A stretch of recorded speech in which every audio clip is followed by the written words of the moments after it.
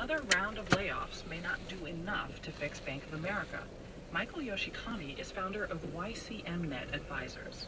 We don't own Bank of America shares because we're just not clear about what the bottom looks like in terms of their financial issues. Bank of America is trying to become a leaner, more profitable bank.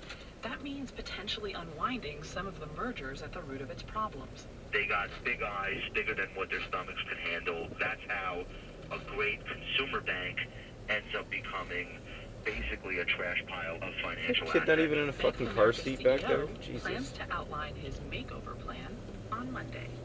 In New York, I'm Heidi Moore for Marketplace.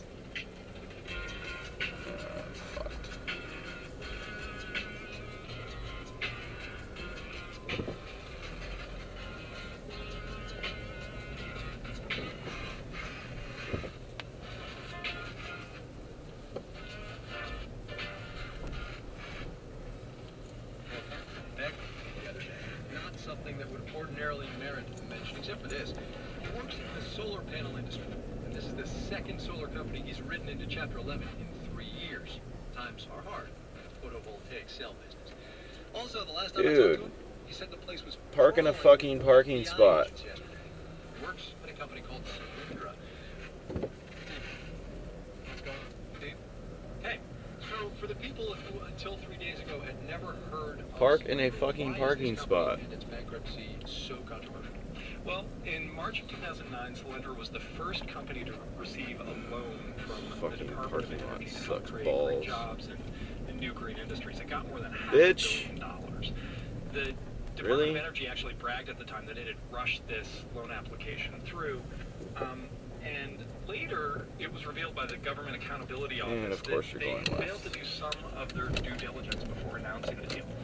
This became uh, much bigger. I fucking hate that shopping center. Running into financial problems, and uh, reporters at the Center for Public Integrity revealed that one of the company's big financial backers was also a fundraiser for President Obama, a guy named George Kaiser. Which is, at the very least, an appearance of impropriety, and, and investigations will figure that out. But businesses go bad in this country every single day. Right? No, that's right. And failure doesn't necessarily prove there was fraud or corruption. You know, Solyndra has a pretty innovative uh, solar technology. They're trying to crack the solar problem in a way no one else has, and that's a risky bet. And so far, at least, there isn't any public evidence that the White House, the Department of Energy, or even Solyndra executives did anything illegal. But, you know, the Department of Energy's Inspector General has to be intensely curious if the company misled it, the government, about its financial situation, um, especially while it was trying to renegotiate some loans recently.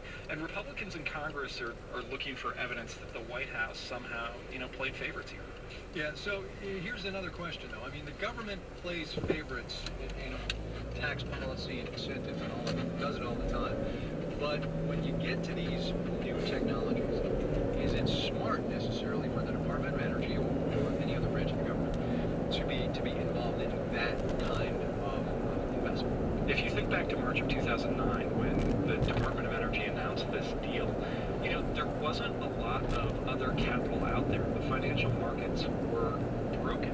And so there was a conscious decision made by Congress and the Department of Energy and the administration that this was a time where it was appropriate to try and imitate, you know, venture capitalists and make big investments in growing the economy. Solyndra was a risky investment. You know, it's not necessarily a Oh, corrupt you one. It may signal not now? have been a stupid one.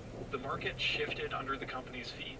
They got clobbered by cheap imports from China and firms in the U.S. that figured out how to make solar panels a lot more cheaply.